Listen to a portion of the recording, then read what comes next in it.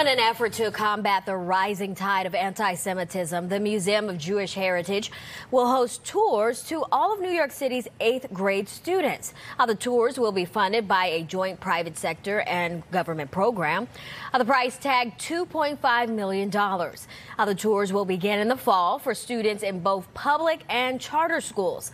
Students will learn about the history of anti Semitism, the rise of Nazis, and what happened during World War II. Schools and classes must opt in to this program.